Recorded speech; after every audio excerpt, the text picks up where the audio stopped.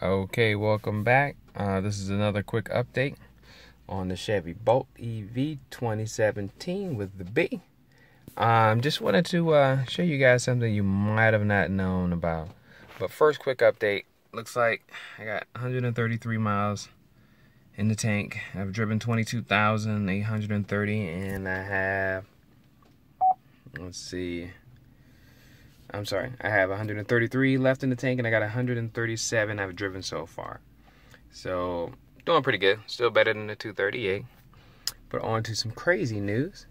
Um, I got an update from uh, YouTube. They said, um, in order for me to continue to uh, enjoy the privileges or the benefits of uh, posting videos, I need to have a thousand subscribers um, or uh, and uh, four thousand hours of uh, of uh, content, viewed content or something like that. I got the time. That's not a big deal, but I just don't have the subscribers. So if you can help me out, send this video or send my videos to some friends. Have them subscribe, you know, all that good stuff. That way I can continue to uh, benefit from having fun making these wonderful YouTube videos. Um, but on to some uh, something really interesting uh, we all know Auto, uh, the Android Auto Play, um, and they have the Apple Play. Um, not sure if Sirius can do this, but I know the Android Auto Play does. Um, you know how sometimes when you're when you're driving, and uh, you get bored, you know, or you know you want to listen to your favorite song or something. Any, you know, you want you need something, something to help you out because you know we use it. We all use this car as a commuter car. Well, I know I do. Do about 80 miles a day, um, round trip back and forth to work, and some you know here and there odds and ends, running some errands, you know, for the wife and all that good stuff. But just want to let you know, you can actually talk to Google through your car. Two options. One press and hold this button here, you get the beep, and then you say what you want to the Google Assistant, or you can actually reach over and press this button. Or if you really slick, you can actually say the normal Google phrase. I don't want to say it because um, it'll cause everybody's phone or uh, tablet or Google Home to trigger. So you know, is that okay? Google, you know, you know what I'm talking about.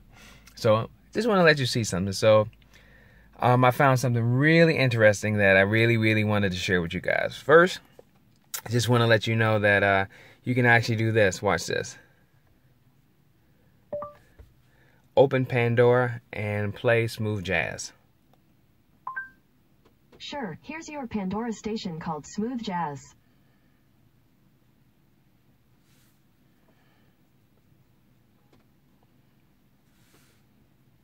I don't want to turn it up too loud just because copyright infringement.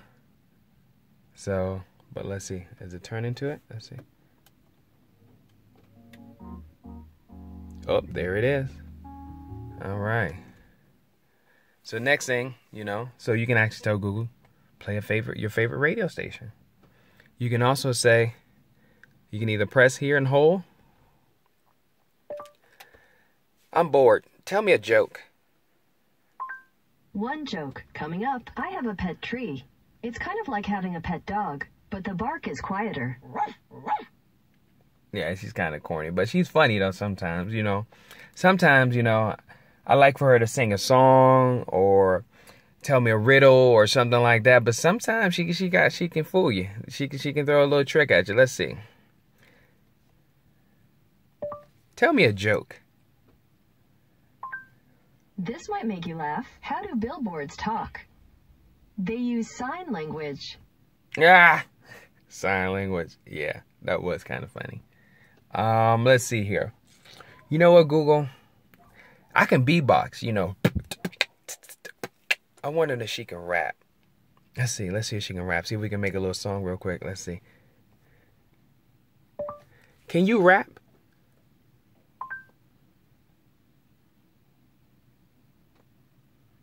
I can rhyme. I even have an original poem I've been working on.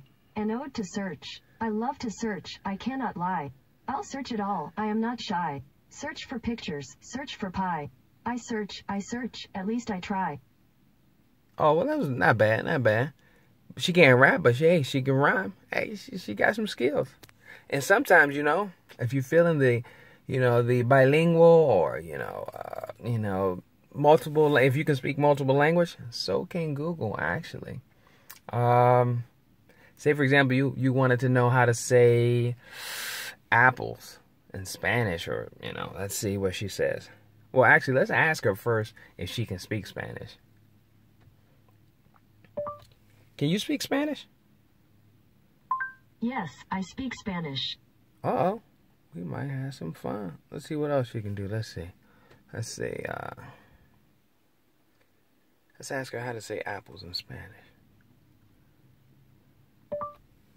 What's the Spanish word for apples? Manzana? Manzanas. Oh, she got it right. She got it right. Okay, okay, okay. So, let's see. What else can we do with Google? Let's see here. Let's ask her. Uh, oh, you know what? Say you want to be real slick. Let's see. Let's see if she knows this. Let's say. Uh, what's the name of the movie where the guy said "Hasta la vista, baby"? Sorry, I don't understand. She didn't get that one. Okay. Well, that's fine. But like I said, it's a lot of entertainment, a lot of fun. You can actually play with this while you're driving.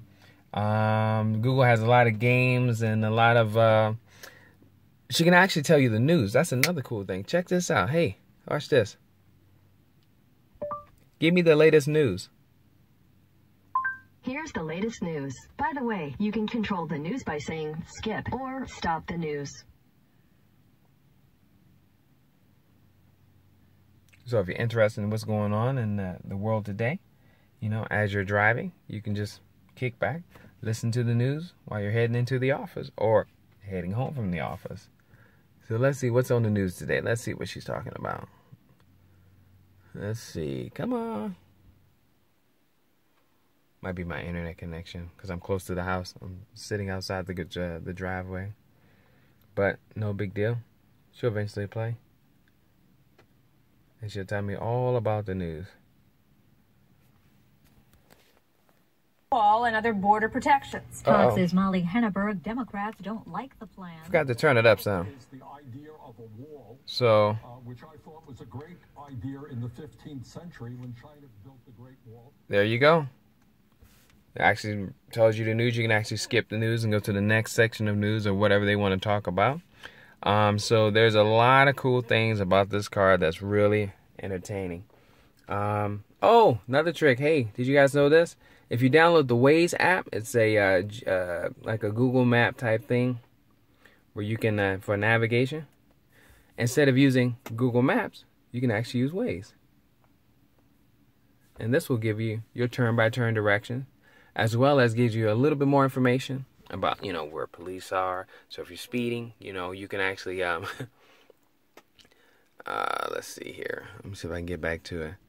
You can it'll actually tell you where cops are if cars are you know have an accident. Uh, you know traffic report.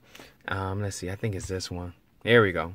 It can tell you about where police is, traffic crashes, um, main issues, hazards red light cameras, which is really important.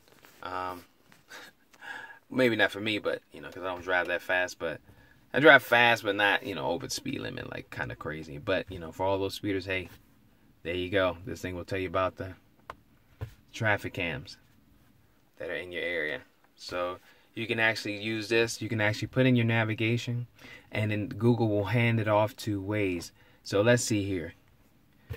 Give me the directions to McDonald's. Okay, handing off to Waze. No, I don't eat at McDonald's. Well, I kind of like their Big Macs and fish fillets, but, um, but yeah, this is just an example I'm showing you. So, so let's go to McDonald's. Boom, gives you turn by turn navigation, just like Google Maps to McDonald's or wherever you're trying to go to. So, like I said, Um, if you guys can help me out, if you like it, subscribe, share it with all your friends, let them know to subscribe because I would like to definitely, definitely continue to make these videos. These are super fun. I have a bunch of other ones. I have one where I want to do a uh, comparison with the uh, co-worker of mine. He's a longtime owner of Tesla. He has the Model 3 as well as the Model X, and uh, just want to do a comparison. I've never seen a car that never had buttons. Um, I just I'm used to buttons. I like buttons. I'm just not really used to the full screen with no buttons.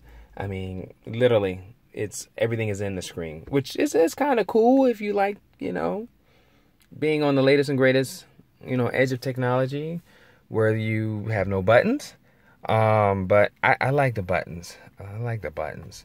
I like to have everything at my fingertips. I like to have a heads-up display, which there's this over here I don't know if I can get really get used to driving and then looking over here for the uh, speed limit. So it's a slick car, but I definitely want to do. I can't wait to do the uh, the interview with them and um, just to get a feel, a drive, and do a you know comparison. Yes, it's a pretty car, but you know I, I, I like I like the Chevy Bolt. I'm really really digging it for the price, for everything it offers me, and. uh hasn't let me down yet. And so far, like I said, I haven't gotten 238. Um, and if you're wondering what this is, this is just a um, a uh, what what do you call those things? Um, camera, uh, dashboard cam. You know, I just use it every now and then because it's a lot of crazy drivers in the morning. But like I said, uh, definitely help me out by uh, sharing this video, liking it, thumbs up, subscribing. Um, I have over 500,000 views from all my videos. I'm a small time guy. Um, but I still like to make these videos because they're a lot of fun. And uh, I love to get you guys' feedback and to see what you think and, you know, all that good stuff. But definitely, definitely uh, share it, like it, subscribe, all that good stuff. Thank you again. This is another Chevy Bolt EV Secrets 2017. Well, this is 2018, but I got a 2017 car. So, But I'm out. Thanks for watching.